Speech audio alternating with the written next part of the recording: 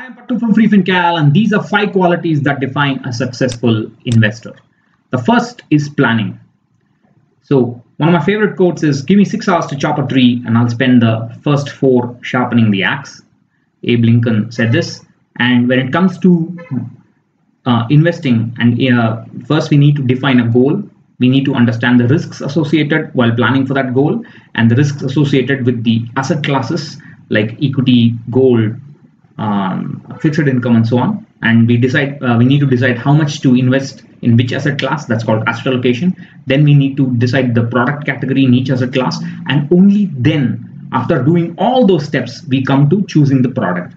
Then we start investing manage the risk associated with that investment and then finally achieve the goal.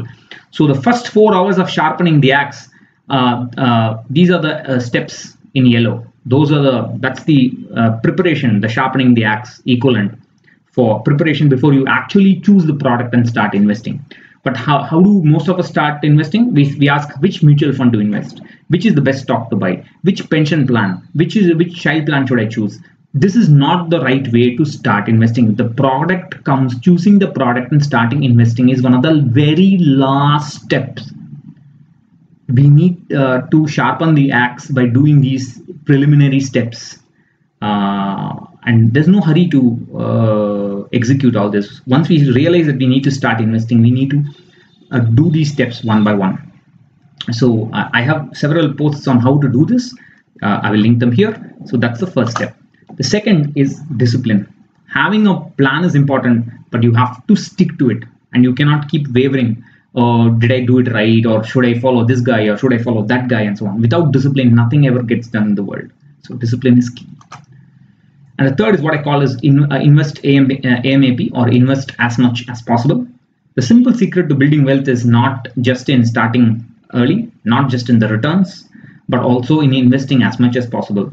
Invest as much as possible every month if you're salary or whenever you can, and uh, try to invest uh, try to increase that investment every year as much as possible. So let's say uh, you uh, invest rupees 100 for the first 12 months, and then the uh, next 12 months or the next year you increase that investment by 10% to 110, and the next 12 months you increase it by 10% and so on. Do it as do it for as long as possible.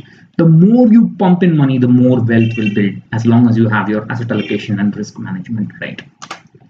Conviction and confidence is key you have to stick to a plan it could be investing 100% in fixed deposits. It could, if that's what uh, makes you happy. It could be investing in 100% in small cap funds if that's what makes you happy. But you got to stick to a plan. But uh, assuming that you have done the plan understanding uh, all the risks and make made an informed decisions you have to stick to that plan instead of hunting for the best plan all the time. And that's what more um, investors do uh, and waste their time uh, waste a lot of the time just hunting for this. Maybe i should do this. Maybe i should do that. They keep changing uh, their decisions without the conviction and confidence uh, nothing ever gets done i just did my financial audit and uh, i have no special talents in picking stocks or uh, i don't pick stocks I, or mutual funds i just invested as much as i can and as early as possible and with the discipline and I also um, made portfolio management decisions on my own without asking anybody. Is this, a, is this a time to rebalance? Yes, I just went ahead and did it. Should I invest more in this fund? I went ahead and did it. Should I, should I choose this fund instead of that fund? I went ahead and did it. I just had that confidence naturally. It's it's not it's a gift. I didn't work towards it. It's just it's a it's an inborn thing. I just had the confidence and conviction to do it. If you do not have that, get professional help from a SEBI registered fee only investment advisor and trust them. If you don't trust them also, then it's a problem. So you have to either have the confidence to DIY, do it yourself, or uh, outsource it to a professional investment advisor. But without confidence and conviction, nothing can get done. You should at least have the confidence and conviction in a professional if you don't have uh, it yourself to manage your money. Uh, the last is patience everything depends on patience. And this uh, quote from Charlie Munger is my, one of my favorites. It's waiting that helps you as an investor. A lot of people just can't stand to wait. If you uh, didn't get the deferred gratification gene, you got to work very hard to overcome that. I think uh, uh, delayed gratification or deferred gratification is just it's dead. Nobody has that. Everybody wants instant gratification. Just they want their mutual fund to immediately give return, the stock to immediately pay dividends, their their money to immediately uh, you know double. They, they just want to get rich quick. That doesn't work. You gotta be patient, patient, patient. Give it time.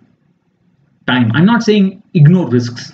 You must manage risks, but also you need to be patient. For the first five years of my uh, uh, investing journey. That's about half the time I've been an investor in equity. My returns were zero, but I pushed in money. Uh, I mean, knowingly or unknowingly, and then overnight my life changed. It changed my uh, net worth and lifestyle. Not my lifestyle, but at least my net worth. Uh, too much. I still live a frugal lifestyle, as you can obviously see. But the, my, my point is, you got to be patient. People don't have patience anymore. They just say, "Oh, I've been investing for six months, nothing is happening. I've been investing for two years, nothing is happening. Returns are not coming." Equity will not give you returns like that. This is that's the problem. That's that's why I keep saying there's no power of compounding. Power of compounding. If you if you are if you buy equity believing such nonsense, you will never understand that it's patience that pays. Patience provided you, you your financial goal can afford that patience. You can be patient for a couple of more years as long as you need money 20 years away right? So that's that's the kind of thing. Uh, i said five steps. There's one more. Everybody needs a bit of luck but luck is the residue of design at uh, as uh, branch uh, rickey uh, a baseball player and executive said but uh, luck is in when it comes to investing i think luck is the residue of design and patience. We need to plan properly and be patient. Everybody needs a bit of luck but only the only people who uh, are patient and have made a plan uh, deserve it. And uh, hopefully if you are one of them you also uh, might get a bit of luck. I've had my fair share of luck. And um, that's all i have to say about being a successful investor. I'll catch you in another video. Bye bye